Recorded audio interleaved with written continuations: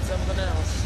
What? Billy Coleman, Lawson, Missouri. Spelled it wrong. 76 Ford F-150.